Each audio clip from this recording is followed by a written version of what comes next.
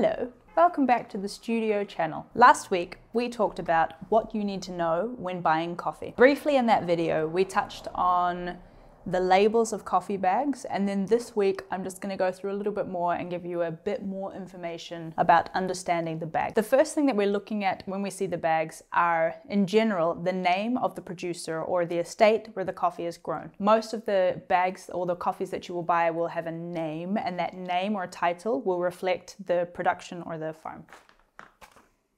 Kibingo from Burundi.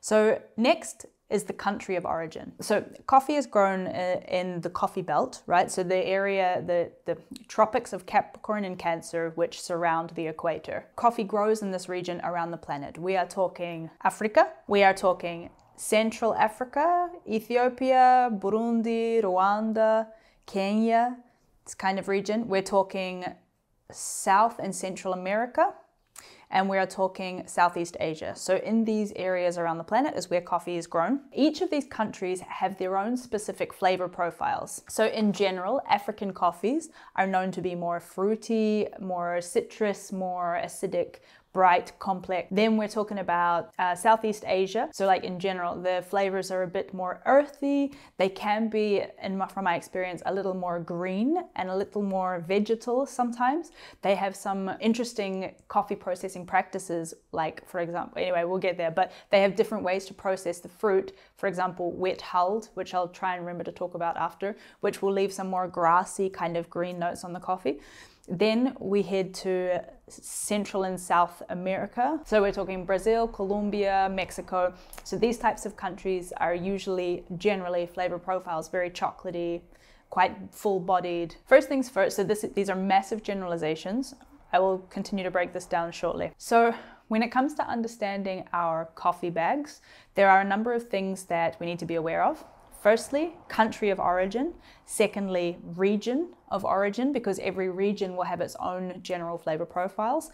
Then the processing of the coffee. So whether the coffee is washed or natural, we'll go into that soon. The altitude of a coffee, the producer, so some producers can be quite famous and they'll be relatively known for certain types of coffees. Also, where are we? Yeah, the variety, so the type of coffee tree. On these bags, that's about it. Different roasters will share different information, so there are also different levels of traceability and transparency.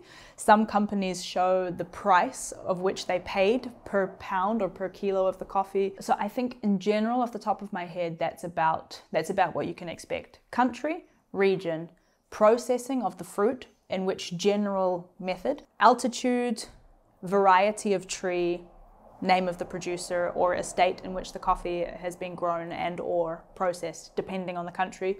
Every country has different rules for how the coffee will be like how traceable it is so with all those in mind, every single coffee is different. Fun fact, also every single harvest is different. Every single year, like coffee is a fresh product, usually from the time of harvest, you will in theory generally not be drinking coffee that was harvested the year before. So usually it'll be harvested, it'll take a month or two before it's fully processed to arrive to us, which will then be roasted and hopefully finished within maybe nine months maximum from the time of harvest. This is again general. So coffee is a fresh product. Every single harvest is different. Every single year will be different. So the first thing I look for in order to understand the coffee bags is country of origin. If I'm going Latin America or Asia, I know that in general it's going to be a little bit more um, heavy, more chocolatey in general. Or I go to my personal favorites are the African coffees, which are known to be a little bit more acidic, a bit more fruity. So first, country of origin. From there, I would then check the flavor notes because on each of the bags you will also see that there are flavor profiles. Some will say they're like blueberry lemon cheesecake, and then others will say chocolate, um, vegetal, maybe a bit herby. So, like on the bag, it will give you the general kind of idea. So, then I would go to what I expect from each country of origin and then the region of the country, which you can Google if you're not sure, just look it up. So, country of origin, Africans more fruity, uh, Latin Americans and Asian coffees a little bit more chocolatey. Then I would move to yeah flavor notes just to see okay is it what is, what's expected or is this going to be something funky and different. The next thing that I would check out, which would directly kind of touch on the last point of if it's going to be normal for the country or different would be the processing. So if you if you go to a coffee shop, you look at their bags, they will have certain processing methods written on them. The most common that you'll find are washed or wet processed, semi-washed, semi-natural, and natural and then a bunch of other fancy terms like carbonic maceration or cold fermentation. So these four, these four are the main things that I would be looking for. Wet or washed process will give you a cleaner cup. This is where we'll go, like in the future, we'll go a lot more into detail about the specific processes because I don't think it makes much sense to go into it now when I can't show you pictures of a farm or I don't have it here with me. But so washed or wet process removes the fruit from the seed and then the seed is dried without any fruit. Natural process, so remember there's four. So washed or wet, they remove the fruit, fruit is dried, a seed is dried without the fruit.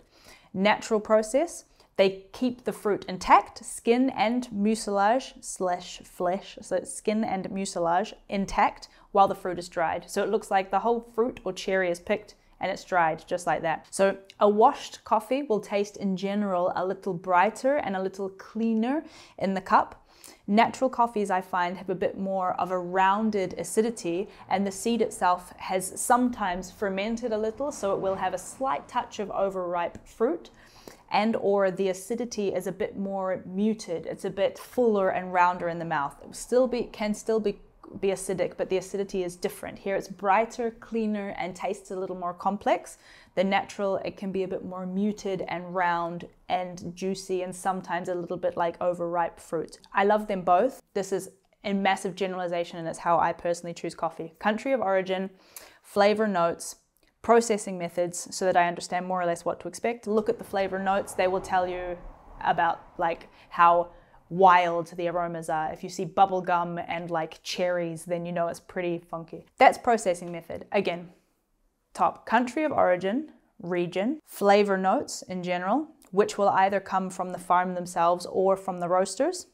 Uh, every roastery will be different in how they categorize and how they taste or state their preference. Ideally, the notes themselves will come directly from the roasters. So country of origin, region, flavor notes, tasting notes, washed, wet, natural processing method, right? So again, country of origin, region, tasting notes, processing method. Altitude is another thing you'll see on the bags. So the altitude is how high above sea level, so how high or how low the, the plantation sits. You can often sometimes see a range like 1,400 meters to 2,100. Then you know that it's like a giant farm that's very steep. So, or you can just see 2,100 meters above sea level, like which would be high, like a high altitude coffee. The higher the altitude, in general, the longer it will take for the fruit to ripen, which means that the coffee will have a higher density. Higher altitude has a higher density and a higher complexity. And then when you get lower, then you're thinking more like earthy tones, chocolatey, big heavy. So there are two more, two more aspects of the bag to look at. First is the variety of coffee tree. There are, there are a lot of coffee tree varieties, forgive me, goodness gracious me, varieties that, that are commercially grown, commercially produced. They all have different characteristics of flavor. Some are more tasty than others, and then others are more, for example, disease or insect resistant, and then others will provide a higher yield. So, so basically every single Every single variety has its own different has its own unique characteristics, just like wines, and also especially for us as consumers in the mouth. Like what we feel is different with different varieties. So I also keep an eye out for that. There are a couple famous varieties that are known for incredibly complex and delicious coffees, such as Geisha or Sidra. And then like red bourbon. There's just so much to talk about here, guys. It's too much. Forgive me if I ramble. I like I do my best. Mwah. Yeah, so that's varieties. And then the last aspect of the bag that I would look for is, of course, and very important one is the roasting profile. So usually shops will offer a different roast for espresso filter coffee.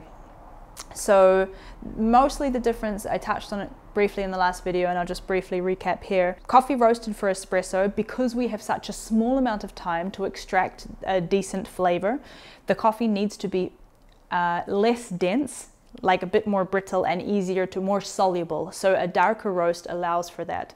A lighter roast, we have a little bit more time to extract the ideal balance of flavors. So that will be your filter roasts. So usually if you're using filter at home, I would suggest getting a filter roast coffee. And if you're using espresso, get an espresso roast. But if people tell me that they like very, not very, if they like more bitter coffees, even if they're using filter, I would still potentially suggest that they grab an espresso roast. So it just, it depends on what you like. Yeah, so I think hopefully that's enough information for you to kind of like have a little have a better understanding of what you're looking for with the coffee bags. So just to just to try and recap everything.